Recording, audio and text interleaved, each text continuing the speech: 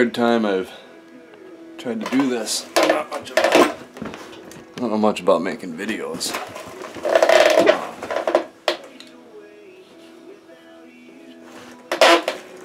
Uh, hello, my name's Dylan. I, uh, I own and operate Paul's Axe Portable Sawmill uh, in uh, Minnesota, northern Minnesota. Um, I wanted to make this video on uh, about Wood-Mizer bandsaws and uh, blades, namely, uh, mainly. um, and I, I'll apologize right now because I'm not very organized and I'm sure I'm going to be rambling all over the place, so bear with me. Hopefully it doesn't get too long. I guess that's what happened last time, the battery died. Well, hopefully it stays going. uh, anyway, the only reason I'm doing this, obviously I'm not uh, the greatest at this, but is I, I, I'm a YouTube addict. I drink coffee and watch YouTube every morning, pretty much. Um, I like learning stuff, and that's a pretty easy way to visually learn. Uh, it's like a big ass encyclopedia. It's great. Who doesn't watch YouTube? Um, so I watch all the Wood-Mizer videos. Um, there's a million of them out there. Bunch of guys running saws, the ones Wood-Mizer puts out, whatever. YouTube's full of sawmill videos, and normally what it is, it's a guy standing there sawing a log. Um, that's great, you know, if you're looking at buying one, you want to see what they can do, all that. Um, but if you already own one and maybe you're looking for advice, yeah, you can call Wood-Mizer with all your questions and that stuff. But uh, sometimes for a quick fix, it's nice to see if somebody else has been through what you're going through, kind of a deal. Um, so you start with YouTube, at least that's what I do. Um, anyway, so that's why I'm making a video. But uh, I just want to talk about blades and blade sharpening and doing it yourself. Um, I run a I run a portable sawmill business uh, for a living. That's all I do. That's all I've been doing for the last 10 years. Before that, I ran another sawmill uh, for someone else in a log a log home uh, business where I didn't really saw lumber. I kind of put a flat on this, a flat on that, a pitch on that, a pitch on that, whatever. But I've been, and my dad ran a Wood-Mizer sawmill for 20 years before I did, and then I took over his business uh, doing the custom sawing, uh, portable sawing, uh, 10 years ago. So I've been around it kind of my whole life. That's all I've really, really done for work. I guess I did some other stuff, but um, anyway, enough of that. Uh, basically, I just want to talk about the blades because um, there's not a lot of videos out there on blades. Uh, there's some. Um, but they're not real informative. You know, they're going to tell you you need a good blade. Okay, well, sure you do. Um, but if you're kind of a do-it-yourself guy like me, and if you're going to want to, if you're going to do what I do for a living, I mean, it's it's essential that you sharpen your own blades. I mean, there's just no two ways about it. Uh, your reputation depends on the quality of the lumber you produce, and the only way you're going to know that when you start up your saw in the morning and hit that first log, if you didn't sharpen and set that blade yourself, you don't know whether or not it's going to cut. You can assume and look at it visually, yeah, it looks pretty good. And 9 times out of 10, the ones from Wood-Mizer, brand new or resharp, will cut just fine.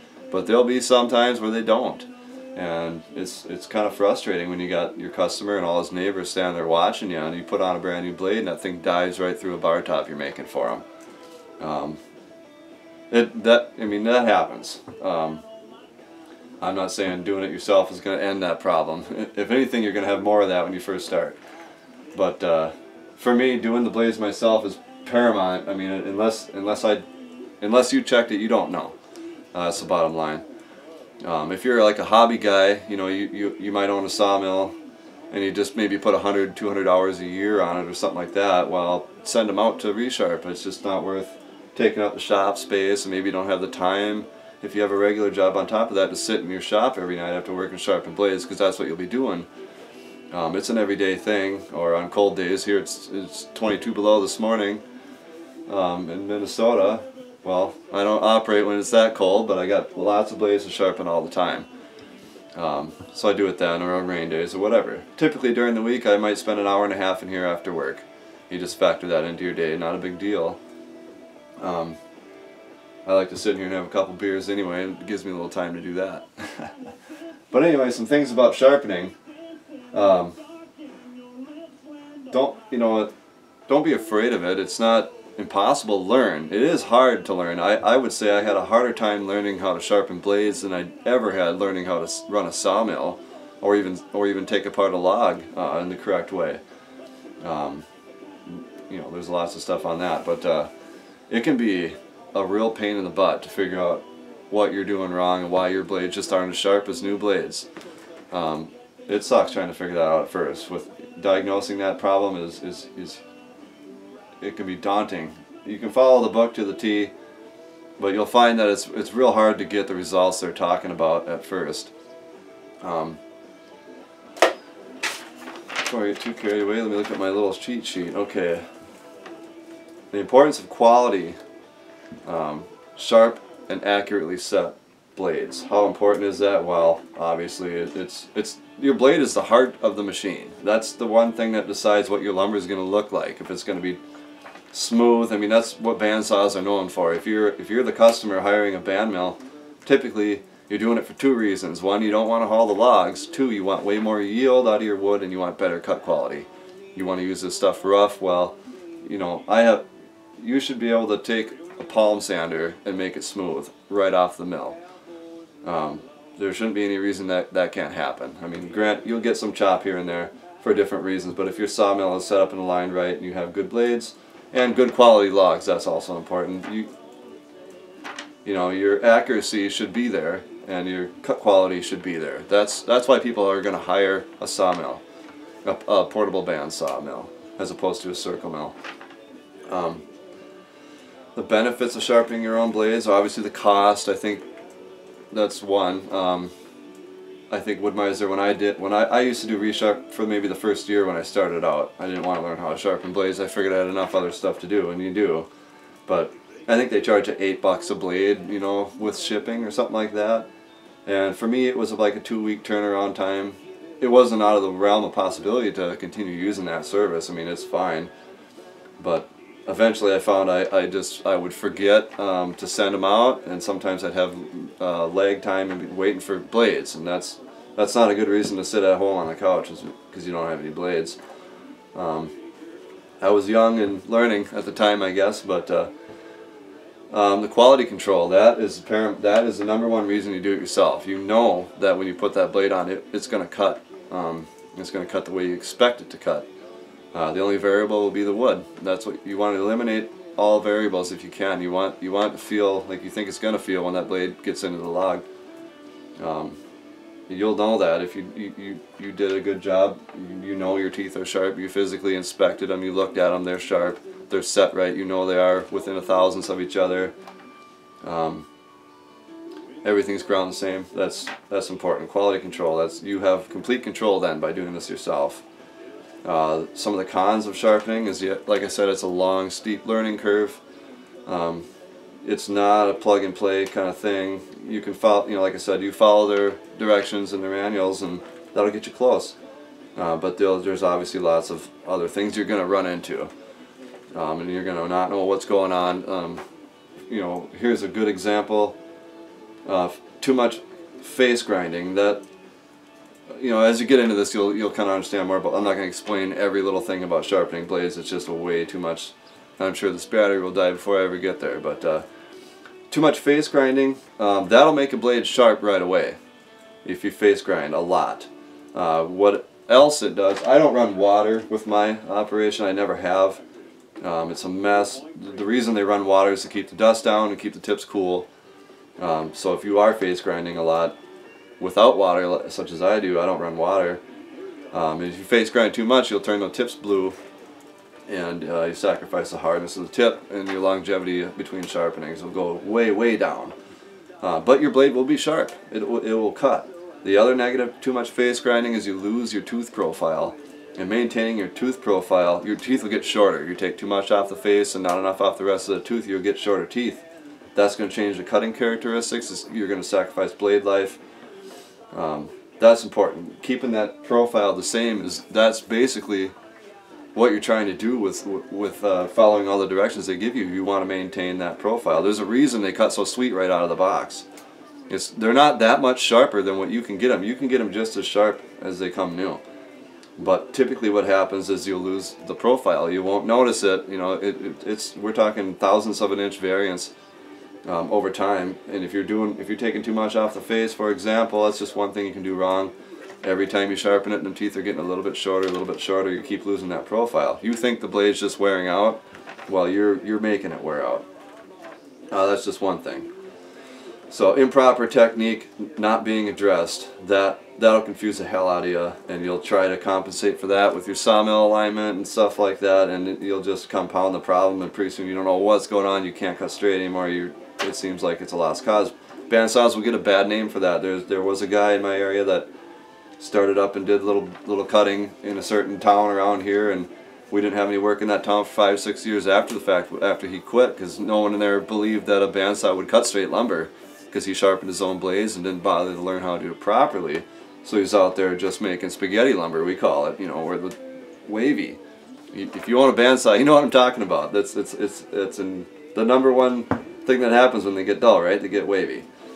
Um, uh, setting the teeth, that is just as important as maintaining a sharp tooth, if not as important. I mean, it's without that, without one, you don't need the other, basically if if your teeth aren't set exactly the same each one um, your cutting characteristics are going to change you're not going to know what that blade's going to do if they're set heavy on one side it's going to pull that way up or down whatever you'll think you're and you'll you'll compensate with your blade guides and you won't know why um, so making sure your teeth are set and not overset you know I, I set my teeth at 25 thousandths I run uh, to tell you what I what I do here I, I run an inch and a half uh, width 45 thousandths thickness, uh, 7 8 tooth spacing, and a 10 degree hook angle. That's kind of their all-purpose inch and a half blade.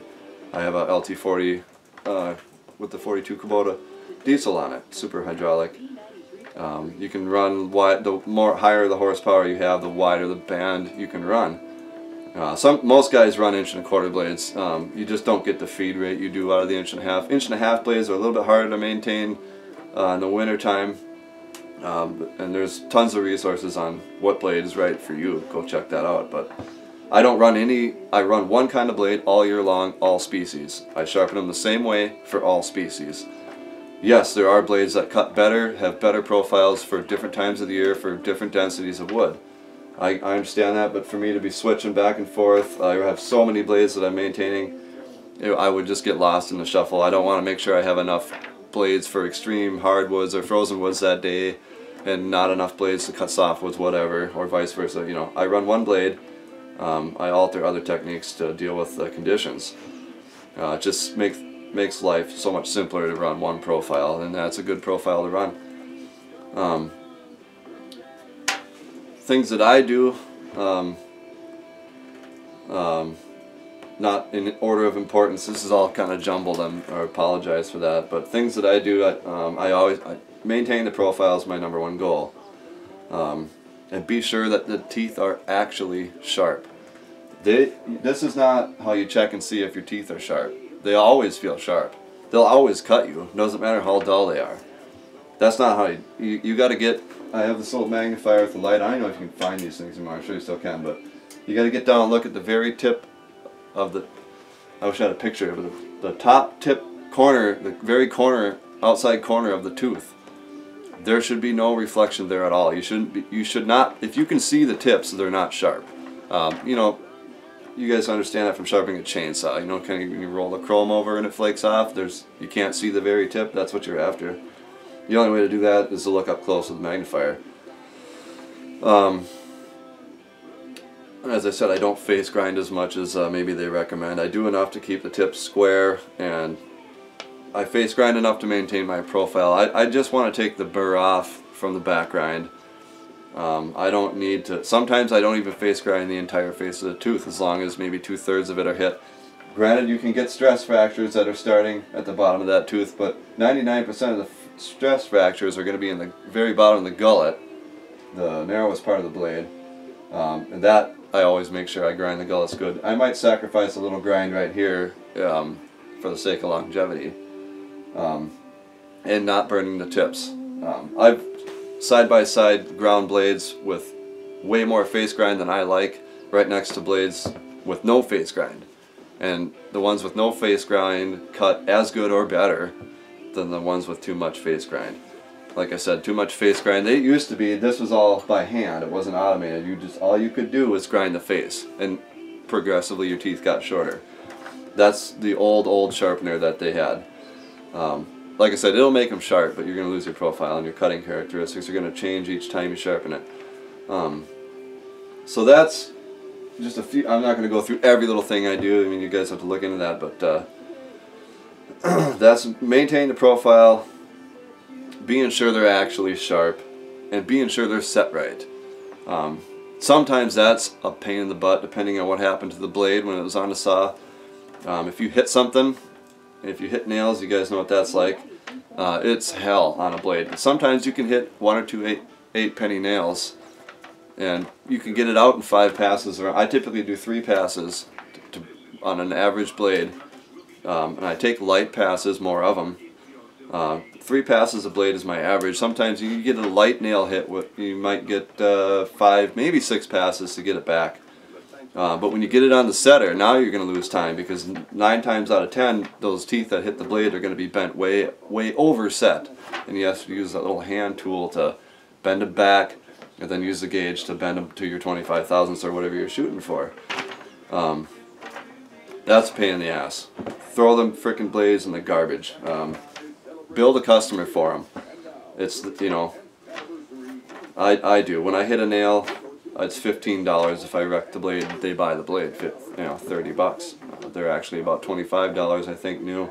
But by the time I've sharpened them three, four times, I got an hour of my own time in them. They're worth more, and that's why I do what I do there. Um, I typically don't charge people for nails on average because I carry a metal detector, and you should too. Everybody that does custom sawing, you need a metal detector. It's 200 bucks for a White's metal detector. They're great. They'll find everything. Um, you know, when you get four or five beeps in a log, well, that's time to make firewood. But uh, that'll save you big time. I mean, you don't want to be hitting hardware. It's just, I understand that I've, you know, I've done a lot of these reclaimed timber jobs where you're guaranteed you're going to hit them old square nails, and they're they're no fun. Uh, you factor that into the cost of those old timbers. You know, they're they're a high buck commodity, anyways. Um, those are crappy jobs. Avoid them if you can. it's popular now, though. Okay. Uh, why I sharpen quality again, uh, longevity. Um, longevity comes more down to not so much if you sharpen or if someone else sharpens. It's I would say your blade longevity. You need to change those blades more often than you probably are. Uh, most guys will boast about how they can run all day on one blade. And, you know, if you're splitting cedar rails in half, four inch cedar rails in half all day, yeah, you, should, you, you probably can.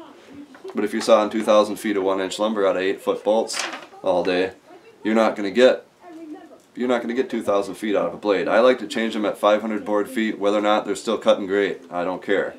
Um, it saves me time on the sharpener. You know, you run that thing until you know, until you can see in the cut that it's dull. You're going to have an extra pass or two on the sharpener at night when you get home. That's just more time you spend out in the shop.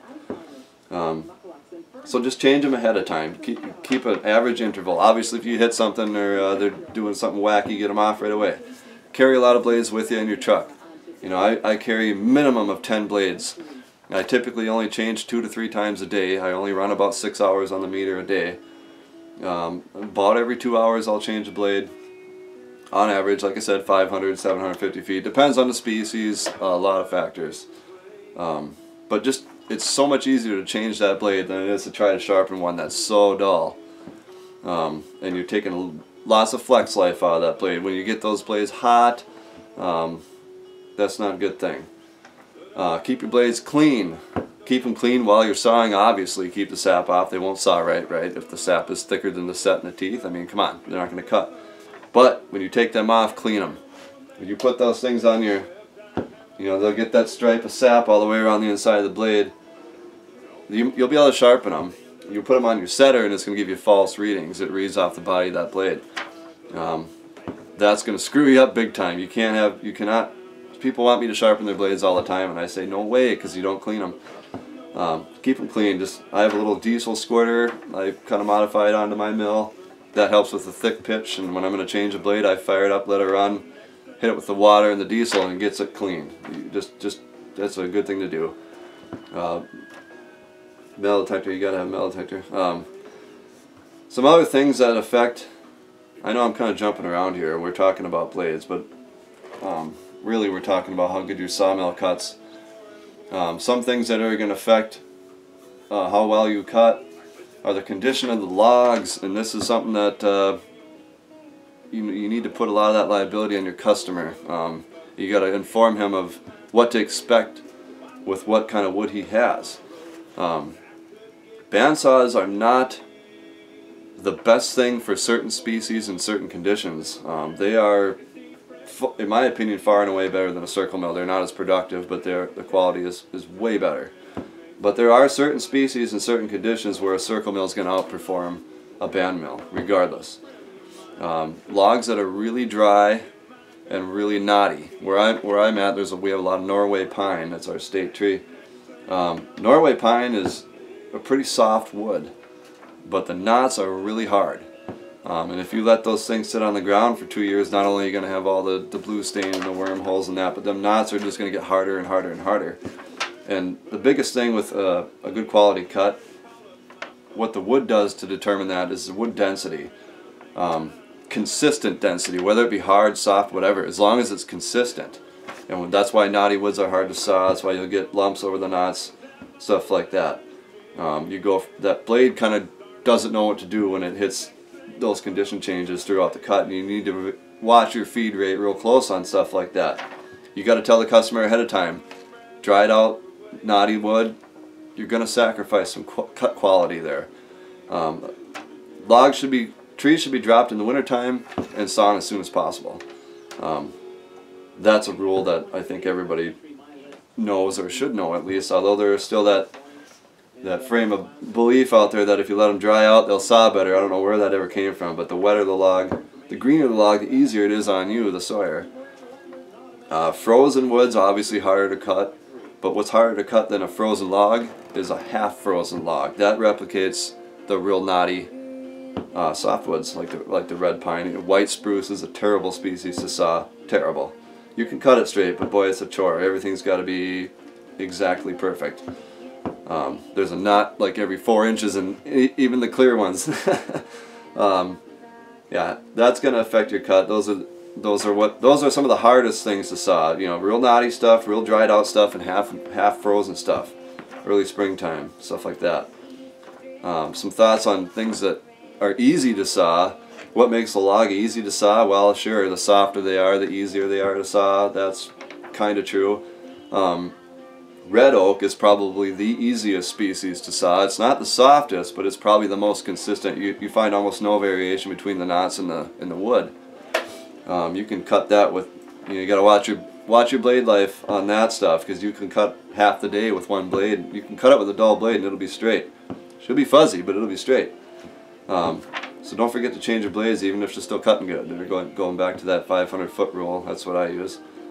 Um, greenwood. White pine is a real easy one there. The knots are soft. Aspen, you know, super soft. Um, some of the real big stuff is uh, you'll get some density variation with that, especially in the butt cuts. Um, consistent density is what gives you easy sawing uh, whether it be hard or soft. If you have the proper blade for the density of the wood you're sawing, you won't have a problem. Um, but yeah, I don't know what more I can say about blades. Um, don't, you know, don't be afraid to try sharpening yourself. It's not impossible to learn. It does take time to learn. Expect to be cussing out why the hell you can't sharpen a, a blade when you first start. Believe me, you'll you'll have a hell of a time with it at first. At least I did. Maybe I have a longer learning curve, but it sucked. You know, it was no fun. I, for a year there, I struggled. Didn't think I didn't think my saw could cut or I could sharpen or whatever. But eventually, you kind of understand uh, some of the theory behind what makes a blade cut. Um, the, and, and the books will go into that in detail more than I'm gonna. But uh, so yeah, that's hopefully provides a little bit of insight on uh, on blade maintenance and why you should do it yourself. Um, like I said, ReSharp is a fine service. It's just you don't know what you're getting. I mean, you're getting quality. Wood-Mizer is a great company. Um, I can't say enough about them. They're they'll sit they'll sit on hold with you while you take stuff apart and test things and who else is going to do that with you? They'll hold your hand right through everything you need to know. Um, but sometimes you know you got to get into it yourself to really grasp the concept. Once you get a hold of the concept of what makes a blade cut, you know, other than just being sharp, why does it, this hook angle do better in this kind of wood than another? Um, what's the fundamental reason for all that stuff? You can, when you kind of wrap your head around that stuff, it makes sharpening and aligning your mill so much more logical and it makes so much more sense. You're not just reading directions out of a book. And that only comes with time and experience, but and it's not unobtainable. At first it may seem that way, but you'll get there. But sharpen them yourself, give it a try. I mean, it's not that huge of an investment. I think I said that. Uh, you're buying a $40,000 sawmill, two grand in sharpening equipment. What's that? That's nothing, you know. Yeah, you're going to have a learning curve. But if you plan on doing this for a living like I do, uh, you need to have complete control over all parts of your business, I think. I don't want to leave it up to somebody else. I do, you know, there's not obviously a Wood-Mizer uh, maintenance shop anywhere. I mean, you can get on a little schedule, but they don't come where I'm at. And I think Wisconsin is the closest place to have worked on. That's just out of the realm of possibility. You do things yourself uh, when you're self-employed. Um, it gives you control, uh, I guess. But and blades, you know, with a bandsaw, your blades are the most important and most susceptible, vulnerable part of your machine. So if you don't have good blade, I buy Wood-Mizer blades. I mean, it doesn't matter what kind of blade you buy, I guess, as long as you keep them sharp and the right profi profile and doing what you want them to do. Um, but it's amazing. There's there's sharpening services locally in my area that I had a friend of mine that bought a mill, couldn't cut whatever reason it was diving. I said, bring some blades over, let me sharpen them for you. And I couldn't even sharpen them. The guy that sharpened them, I don't know what he did to those blades, but you know there was zero hook angle uh, the gullets were squared off. I don't know how he did that, but uh, the profile is completely gone. It says they're they're junk, you know. he didn't didn't follow the, the rule there or whatever. But uh, and and you know I'm sure that guy believed he was producing a sharp blade because they were probably sharp when he touched them. You know they look sharp in the magnifier, but the profile's gone. That stuff all needs to be maintained consistently. Do it like they tell you to do it. Wood-Mizer does a lot of research and development on these blades and they're always coming out with something better, so they're always learning too. But listen to them um, and give it a try. I hope this wasn't too rambly. Um, all right.